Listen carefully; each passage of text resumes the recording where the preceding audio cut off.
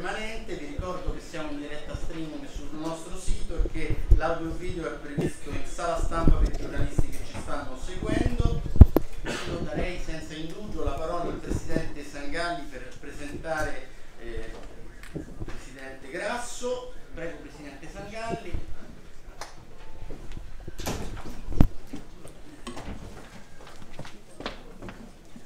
A nome di tutta la Confcommercio, benvenuto al Presidente Grasso a questo Consiglio Generale Speciale. Eh, Confcommercio, caro Presidente, è la più grande associazione di impresa eh, d'Europa e rappresenta il terziario di mercato, un settore complesso che va dal commercio ai servizi, dal turismo alla logistica, dai trasporti alle professioni. Consiglio generale speciale, ho detto, un consiglio che oggi ha un duplice obiettivo, dialogo e ascolto.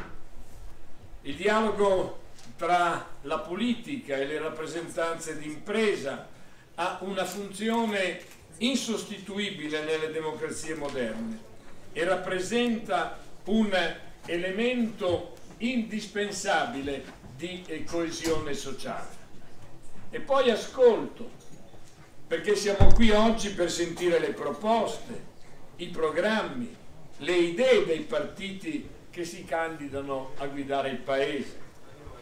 Le prossime elezioni e la nuova legislatura saranno decisive per proseguire il percorso delle riforme già avviato.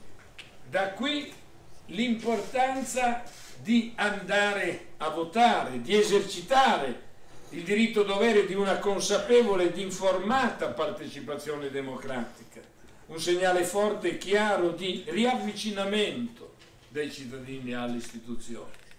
Proprio per questo abbiamo ritenuto utile, e come Confcommercio, organizzare questi incontri ed elaborare un documento dal titolo Un tema, una proposta, le priorità delle imprese del terziario per la prossima legislatura. E con questo documento noi vogliamo evidenziare i temi chiave, le misure per noi decisive per una crescita più sostenuta e per creare condizioni di mercato più favorevoli per la competitività delle imprese del commercio, del turismo, dei servizi, dei trasporti, della logistica, delle professioni. Va scongiurato il rischio di una fase di stallo e di ingovernabilità, perché ne farebbero le spese, le imprese e le famiglie che proprio ora stanno toccando con mano qualche segnale di ripresa seppur fragile. E non c'è tempo da perdere. Già ad aprile infatti va presentato il DEF nel quale devono comparire precise indicazioni sulla sterilizzazione delle clausole di salvaguardia per non far scattare l'aumento dell'IVA nel 2019. Un paese senza spade di Damocle dal debito pubblico alle clausole di salvaguardia che gravano sul suo futuro è un paese dove si può crescere. Vale per le imprese, vale per i cittadini. Penso ai giovani che sono un tema caro al Presidente Grasso e sono la risorsa fondamentale per il presente e per il futuro del nostro Paese, una risorsa che va valorizzata con il sostegno all'occupazione, alla formazione, ai percorsi di alternanza scuola-lavoro, ma anche alla creazione di nuova impresa. La disoccupazione giovanile nel 2017 si è attestata in media intorno al 35%, un valore ancora troppo elevato, ma che negli ultimi mesi dello scorso anno ha mostrato una tendenza alla diminuzione. Proprio il settore, caro Presidente, che noi rappresentiamo, il terziario di mercato, crea ogni giorno nuova occupazione ed è la scelta di tantissimi ragazzi che decidono di mettersi in proprio e di affrontare la sfida di fare impresa. Una scelta che coinvolge anche tanti giovani stranieri in regola in un percorso di reale integrazione e cittadinanza attiva. Alle scelte coraggiose di questi ragazzi, più difficili rispetto alle stesse scelte che 30 anni fa hanno fatto i loro padri, dobbiamo rispondere con un paese migliore. Siamo convinti che questa priorità che è nel nostro documento sia una piattaforma politica che incontra la sua sensibilità e la sua attenzione e siamo pronti, caro Presidente, ad ascoltarla. Grazie.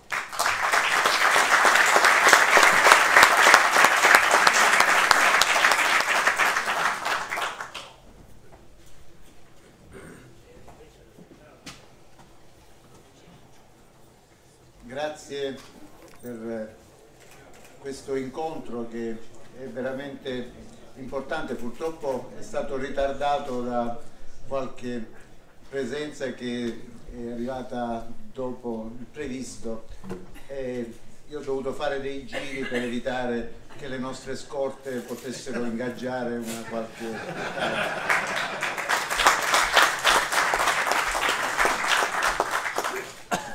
e quindi ho ho atteso che pazientemente che appunto eh, lo spettacolo finisse e poi adesso incomincio a parlare io e ringrazio il Presidente Sangalli per questa opportunità e ehm, ringrazio anche tutti coloro che ci ascoltano. So che ben 92 centri eh, della Confcommercio sono collegati in streaming e saluto tutti quanti oltre a voi. Allora io non sono abituato agli showroom, sono una persona concreta che cerca di affrontare secondo i metodi che sono stati eh, nella propria vita delle linee guida per andare avanti, cioè intanto ascoltare, analizzare i problemi, ascoltare, riflettere e poi eh, decidere.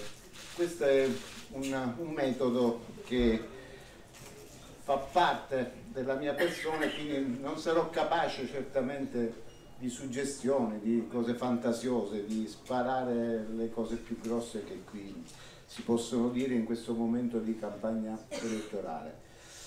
Io eh, vorrei dire, cominciare con una domanda, da dove eh, riparte l'Italia? Ecco, questa è una bellissima domanda perché eh, bisogna a questo dare risposte. E allora come si costruisce il benessere che aiuta le imprese, le famiglie, il commercio, i lavoratori, le giovani coppie che devono intraprendere una vita? E beh, io penso che questa sia la domanda, l'unica domanda che deve interessare una forza politica e le forze politiche che oggi sono in campo. Vedete, alcuni fanno proposte roboanti che sono però o inattuabili o mortificano quei ceti medi o bassi che sono il cuore del nostro paese. La nostra democrazia e la nostra economia hanno prosperato quando il paese cresceva e la ricchezza veniva redistribuita troppe diseguaglianze sono nocive per il paese, creano tensioni sociali, sono un'ingiustizia che danneggia il tessuto sociale del quale il commercio è parte integrante. E quindi crescita, lavoro stabile, reddito, eh, solo con un lavoro buono e stabile si sostiene la domanda interna, quella che a mio avviso manca da questa ripresa e con voi vorrei parlare proprio di questo, prima di soffermarmi su alcune delle questioni che immagino vi, stia, vi stiano più a cuore. Io intanto faccio i, complimenti per eh, la qualità del materiale che avete prodotto. E su alcune cose certamente è normale, ci troveremo in disaccordo, ma penso che una grande categoria eh, e una grande organizzazione come la vostra debba fare esattamente questo, cioè produrre conoscenza per mettere il decisore pubblico in condizioni di migliorare il proprio punto di vista confrontandosi con un livello alto di, di proposte e soprattutto chiaro, chiaro nei contenuti. E quindi questa vostra iniziativa è la benvenuta perché ecco, attraverso questo, questo, questo materiale è già iniziato questo ascolto. Mi perdonerete appunto se non farò uno show, ma per strappare l'applauso manterrò uno stile sobrio che mi è più congeniale. Con la franchezza che vi è dovuta dirò chiaramente su cosa sono d'accordo con voi e su cosa no. Però prima di procedere e per seguire il vostro documento io credo che sia necessario cominciare a guardare un attimo l'Italia. L'Italia è il momento che sta vivendo. Io concordo con voi nel leggere che le insidie del prossimo futuro sono, come affermate, ci sono e la ripresa è soggetta a tutte le fragilità strutturali che l'economia italiana non ha ancora risolto. E per noi liberi uguali, quali sono queste fragilità? Beh, una crescita orientata troppo all'export, compressione salariale, bassa produttività, precarietà lavorativa, il perdurare della crisi in ampie aree del paese, in primo luogo il sud, il mezzogiorno, la mancanza di innovazione nell'azione della pubblica amministrazione, l'assenza di una politica di sviluppo concertata tra attori pubblici e privati sui settori chiave del manifatturiero, ma anche per gli asset fondamentali del turismo e dell'agricoltura. Infine, una scarsa crescita della domanda interna.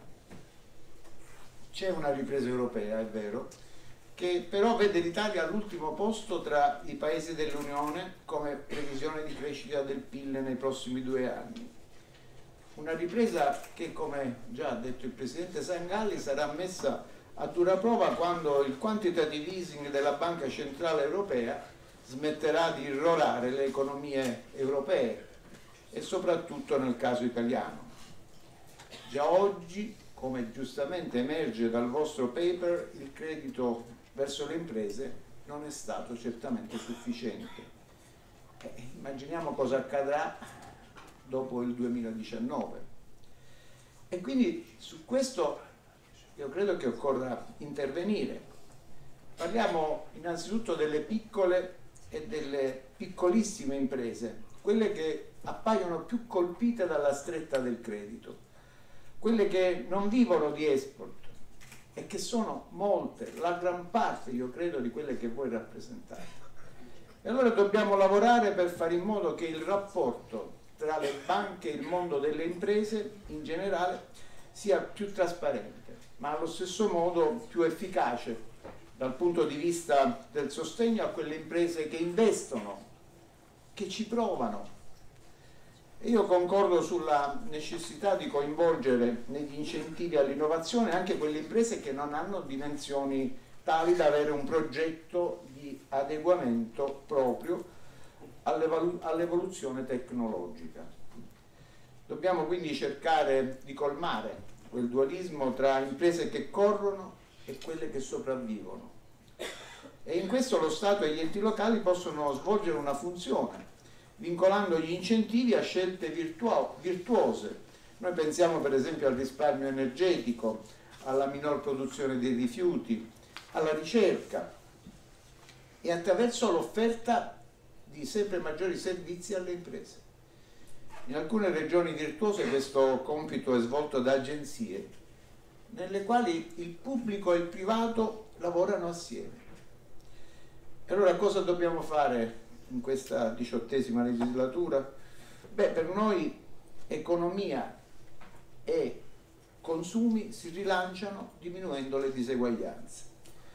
A meno che, perdonatemi la battuta, non si creda di poter sostenere la crescita di questo paese unicamente basandosi sugli showroom del lusso che pure sostengono un segmento importante della nostra economia. Allora fatemi scomodare il vecchio Ford. Bisogna tornare a sostenere che l'operaio che produce un'automobile deve ricevere un salario sufficientemente alto da poterla acquistare. Oggi dovremmo citare altre decine e decine di figure lavorative, non solo e non più l'operaio della vecchia fabbrica, ma spero di avervi reso con chiarezza qual è il nocciolo della questione secondo noi. Per sostenere la domanda interna, i salari, servono certamente maggiori sicurezze e tutele e ho capito che su questo non siamo d'accordo, nel senso che noi di Liberi Uguali eh, auspichiamo la, re, la reintroduzione di quell'articolo 18 che è stato abolito dal Jobs Act proprio per garantire quelle tutele e certezze sul futuro ai lavoratori precari. E una parentesi prima di parlare di lavoro, il lavoro si sostiene anche ricostruendo il tessuto sociale e commerciale nei nostri centri storici, nelle nostre città. E quindi condivido in pieno in questo senso la vostra proposta di garantire affitti agevolati di locali di proprietà comunale a imprese di giovani e start-up, così come la proposta del recupero, di riqualificazione e valorizzazione dei volumi esistenti, aree dismesse, sottotetti, seminterrati, anche nel centro storico, soprattutto nell'ottica di azzeramento del consumo di nuovo suolo. Allora liberiamo questo patrimonio.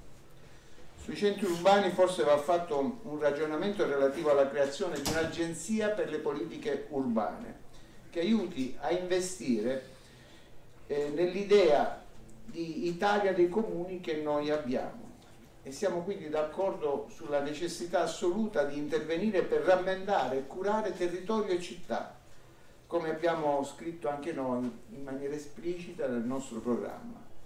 Al tempo stesso trovate in noi un alleato entusiasta sul punto 14 del vostro paper, la crescita sostenibile, strategie integrate tra pubblico e privato, nuove politiche della mobilità sostenibile, sviluppo delle opportunità offerte dalla digitalizzazione Torniamo un attimo al tema del lavoro. Alcuni dati io li voglio sottolineare. Nel 2017 per un posto di lavoro creato a tempo indeterminato, 9 sono a termine.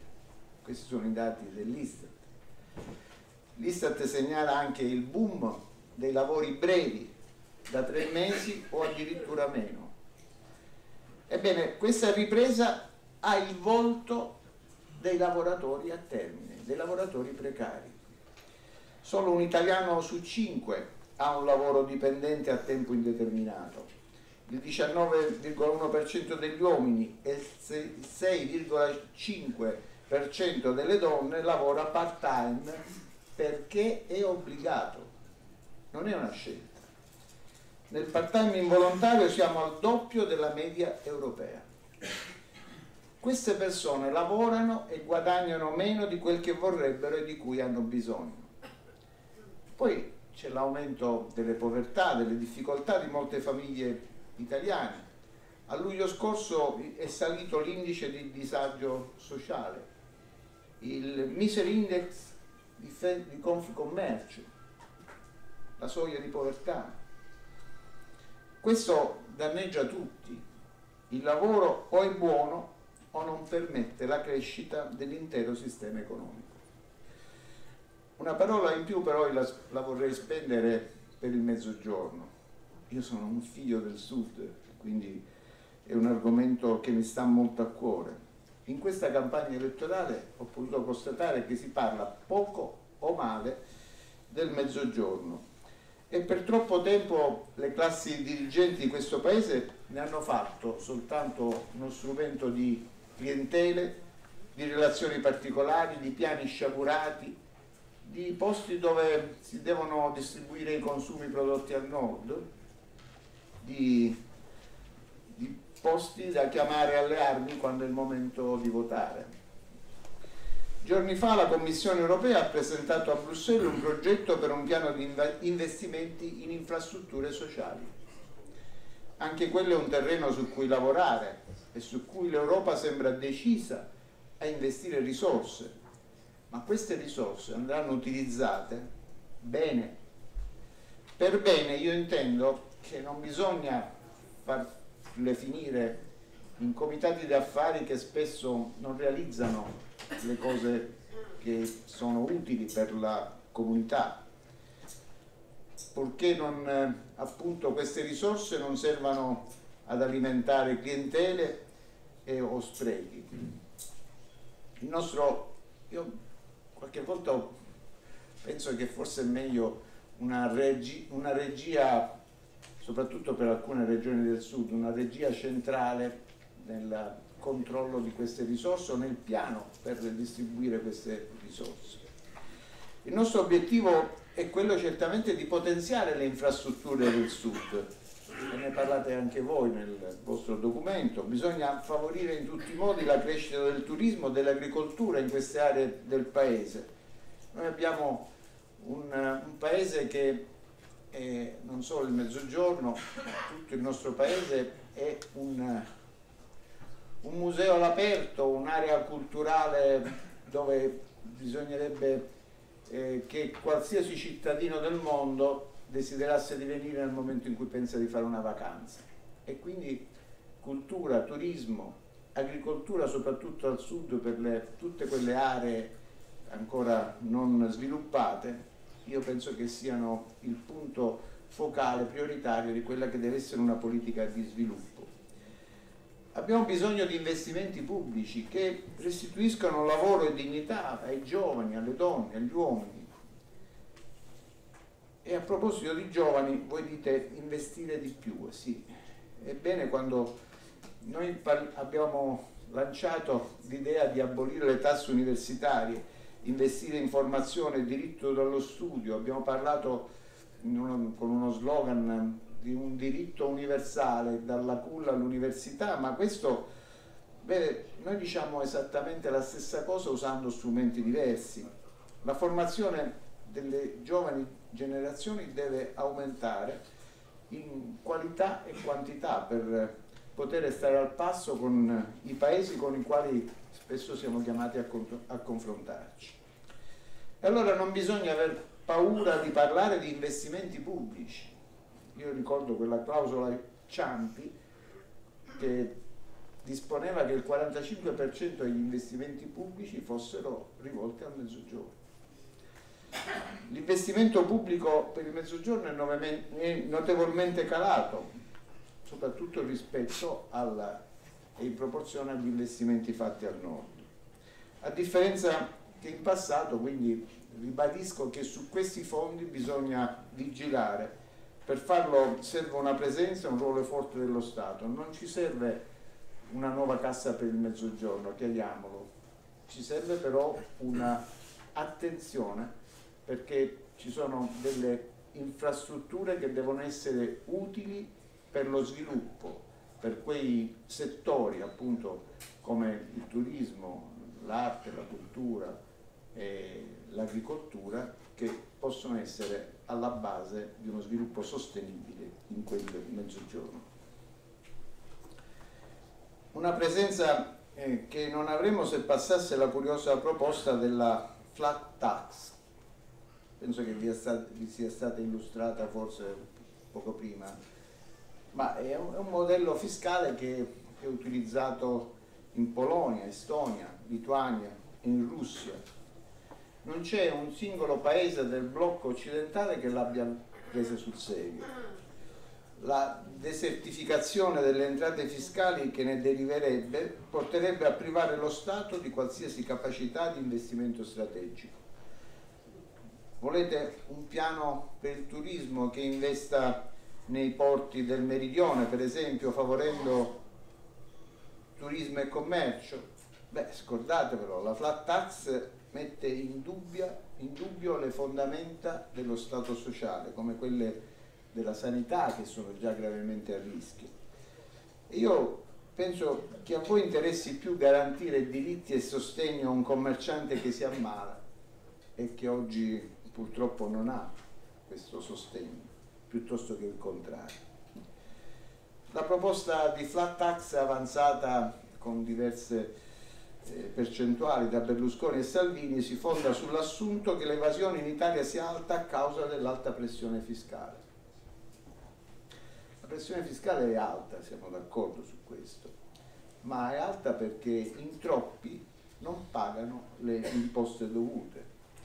Mi limito a dare un numero. A causa dell'aggiramento da parte di Google e Facebook delle norme sui profitti, l'Italia nel periodo 2013-2015 avrebbe perso 549 milioni di euro di tasse. Una enormità e lo dice uno studio del settembre 2017 realizzato da Paul Tang, un eurodeputato socialista. Vengo quindi al nocciolo della questione. Imposte più basse non assicurano certamente una maggiore fedeltà fiscale. Lo dimostra il caso Apple, la cui corporate tax più bassa d'Europa, quella irlandese il 12,5%, non è bastata a convincerla a pagare il dovuto, visto che ha provato a pagare lo 0,003%. E dico di più, la mancata fedeltà fiscale da parte di queste multinazionali costituisce un enorme vantaggio competitivo a danno delle altre e delle nostre imprese. Si è discusso e si discute di web tax, su questo leggendo il vostro documento siamo tutti d'accordo sulla web tax.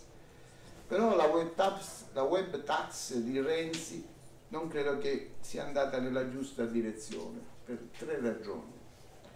In primo luogo il 3% è un'aliquota fissa troppo bassa. In secondo luogo questa legge non si applicherà all'e-commerce e ai suoi colossi come Amazon. In terzo luogo, non so se ve ne siete accorti, in virtù di questo provvedimento i ricavi delle imprese digitali residenti in Italia saranno sottoposti non solo al nuovo tributo, ma anche alle altre imposte dirette con le aliquote vigenti in Italia, con un onere di imposta effettivo più elevato. E questo era per favorire le nostre imprese. Come ha potuto segnalare l'ufficio parlamentare di bilancio. Non so perché è stato inserito questo emendamento alla Camera che ha provocato eh, queste, queste impreviste soluzioni che hanno finito col danneggiare le imprese digitali italiane. Noi di Liberi Uguali ci impegneremo invece per eliminare una tassa fra le più odiose, una tassa che paghiamo tutti senza accorgercene, una tassa che strangola il paese e della quale in campagna elettorale non parla nessuno. La mafia tax, il costo dell'illegalità. Gli strumenti per intervenire sull'economia criminale possono essere migliorati, ce n'è, ma in ogni caso mi pare che manchi questa volontà politica, proprio per il fatto che non viene assolutamente preso in considerazione questo elemento che invece è sempre stato alla vostra attenzione. Io sono venuto qui a, a, a presenziare al premio Libero Grassi, che appunto è una, un premio istituito da voi e che è veramente meritorio. E gli strumenti per intervenire sull'economia criminale possono essere certamente migliorati, l'abbiamo detto, ma la strada è ancora lunga per sradicare quella che è al tempo stesso un'emergenza criminale ma anche un'emergenza morale. Occorrerebbe ad esempio intervenire sulla tracciabilità dei pagamenti per contrastare i reati di corruzione, di riciclaggio, attraverso la reintroduzione di una soglia più bassa dell'uso del contante, effettuare controlli più efficaci, semplificare le normative, serve una maggiore trasparenza nei rapporti tra cittadini e pubblica amministrazione, prevedere e applicare sanzioni effettive, credibili da parte di forze dell'ordine e magistratura con tempi certi. Possiamo discutere certamente del sua attuazione, delle modalità, ma idealmente la strada del futuro può essere, come avviene già in tanti paesi, l'abolizione del contante, tanto per combattere l'evasione fiscale quanto per contrastare l'economia criminale. So che è una strada che in Italia ha avuto invece una, un percorso al, al contrario, nel senso che eravamo arrivati a 1000 euro, subito è arrivato eh, Renzi l'ha portato a 3000 euro, poi adesso Salvini non vuole nessun limite, quindi voglio dire ci sarà un motivo. Quello che vogliamo non è solo uno Stato che reprime il crimine, ma una comunità che previene alla radice le condizioni su cui prospera il malaffare, che sottrae al bene comune le risorse di tutti. Naturalmente anche la politica deve cambiare e noi vogliamo portare questo cambiamento fatto di moralità, di legalità, di rispetto delle regole. E vedete, la legalità, l'onestà noi non la urliamo nelle piazze, ma la realizziamo ogni giorno con i comportamenti, con le nostre azioni.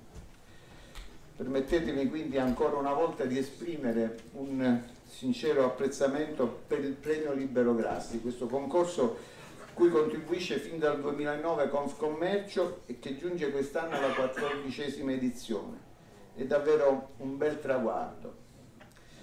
E, badate, costruire cittadinanza in una società divisa, arrabbiata, impoverita non è impresa da poco. Guerra, terrorismo, razzismo, mafie rischiano di minare la ricchezza sociale del nostro paese e iniziative come quella dedicata al Libero Grassi a mio avviso rinsaldano i legami di solidarietà, i legami della comunità. E la virtù in questo particolare momento storico consiste nel costruire ponti, non nel distruggerli, non fare qualcosa contro, ma nel farlo insieme. E siate dunque orgogliosi, molto orgogliosi di questa iniziativa. Io vi ringrazio per l'attenzione.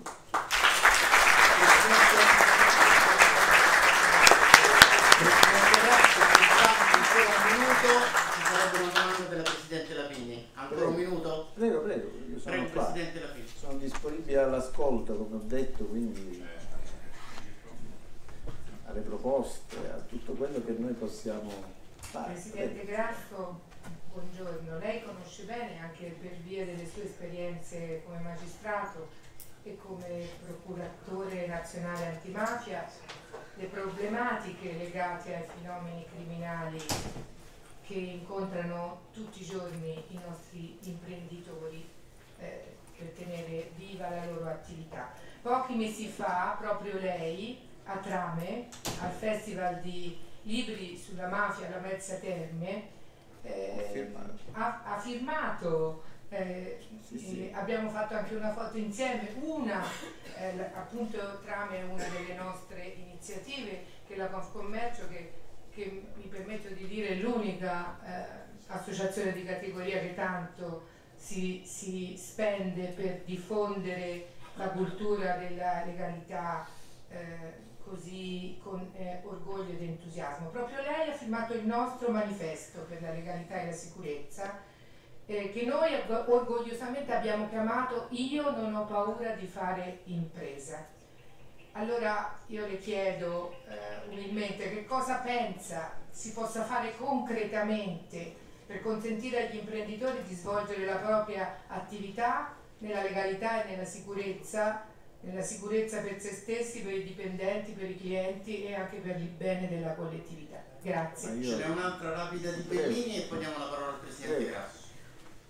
Signor Presidente, il Job Act ha introdotto importanti novità in materia di lavoro che per il nostro mondo, il mondo delle imprese, sono ormai imprescindibili. Penso alla flessibilità del lavoro, alla riforma degli ammortizzatori sociali e al bilanciamento delle politiche attive e passive. Per quali motivi voi di Liberi Uguali siete favorevoli all'abolizione di questo strumento e qual è il vostro modello di riferimento? Grazie. Prego Presidente, grazie. Allora, eh, io mi onoro di aver messo quella firma nel quel progetto Io non ho paura di fare impresa anche perché da, da, quel, da quel, documento, da quello studio c'è tanto da, da, imparare, da apprendere perché viene messo in risalto appunto quella che eh, sono tutte le espressioni dell'economia criminale, quindi a incominciare da qualcosa che magari non ci aspettiamo come l'abusivismo, poi la contraffazione, la, le estorsioni, l'usura, furti, rapine, eh, tutte queste attività che sottraggono al commercio, eh, agli alberghi, ai, pubblici, ai pubblici esercizi una somma che nessuno si immagina e che voi stessi avete stimato in 27 miliardi di euro, ricordo ancora, ci ha impressionato la vostra stima, e mettendo a rischio 260 mila posti di lavoro. Regolari, ovviamente, perché anche il lavoro nero l'ecomafia o il riciclo dei rifiuti fanno parte di questa economia criminale che toglie alla legalità e toglie ai posti di lavoro regolari. Bene, io penso che la repressione delle attività illegali, che naturalmente può avvenire soltanto se tanti di questi reati vengono segnalati con denunce all'autorità giudiziaria. Adesso io sono stato uno dei, di coloro che nel, 2000, nel, lontano 2004 ha favorito la nascita di Addio Pizzo proprio come un'associazione che possa essere eh, di aiuto a tutti coloro che subiscono questa pratica per cui oggi è ancora più grave il momento in cui un commerciante che fa fatica ad andare avanti con tutte quelle che sono le, eh, le problematiche del settore poi debba pure pagare il pizzo. E quindi certamente una collaborazione da parte dei commercianti, dei cittadini è indispensabile e poi eh, occorre, come spesso succede, che voi stessi segnaliate eh, situazioni particolari e che, cose che fate e, appoggio a chi ha denunciato e serve soprattutto una magistratura e, una, e forze di polizia giudiziaria che siano rapide nell'accertamento e, e rapide anche nell'emettere delle sentenze. Io ricordo ancora che a Palermo, dopo un certo periodo di tempo di questa cura, nelle intercettazioni telefoniche si sentivano due che parlavano, dice senti lascia perdere, non ci andiamo da quello perché è uno che ha contatti con Confcommercio e quindi è meglio che non ci andiamo perché rischiamo. E ormai le pene sono gravi perché per un'estorsione di 500 euro eh, arrivavano condanne anche se, a 7 anni, per cui si era persa l'opportunità, si era persa eh, il valore si era dato minor spinta criminale a quella che era un'attività che invece se non c'è nessun controllo, non c'è nessuna collaborazione viene svolta in maniera regolare, normale, come normale esazione. quindi è importante che ci sia tutto questo contesto che lavori all'unisono in sinergia e in armonia per poter riuscire a eh, combattere questi fenomeni. E quindi l'opera meritoria di Confcommercio è ovunque riconosciuta in questo campo. Andiamo al Jobs Act, questo è un, un tema certamente importante per noi qualificante perché innanzitutto il Jobs Act ha eliminato quell'articolo 18 che eh, dà tutela e dignità al lavoratore nel senso che eh, lo tutela da licenziamenti che non hanno una giusta causa, cosa che eh, per anni e anni è stata una, una, punta di diamante di quello che è lo statuto dei lavoratori. E ehm, questa eliminazione, io ho parlato con tanti imprenditori, non so, forse erano imprenditori, ma io non ho mai licenziato nessuno se non ci fosse stata veramente una, una causa giusta, quindi voglio dire c'è un'etica imprenditoriale che forse non ha bisogno di quell'articolo 18, ecco, questo l'ho potuto riscontrare personalmente, quindi che ci sia o non ci sia per molti imprenditori può anche essere ininfluente, però cosa succede? Che il Jobs Act ha prodotto un lavoro precario, abbiamo visto i dati dell'Istat, non sono dati miei, che un lavoratore su 10 ha un contratto a tempo indeterminato e gli altri hanno tutti contratti brevi.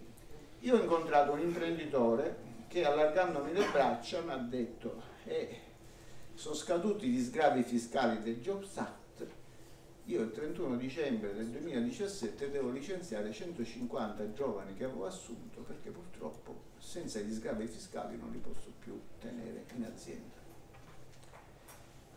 Questo significa che quei giovani, quei ragazzi non potevano col lavoro immaginare o costruirsi un futuro, non potevano proiettarsi nella società, non potevano pensare di sposare la ragazza a cui volevano bene, di crearsi una casa, una famiglia, avere un mutuo, avere...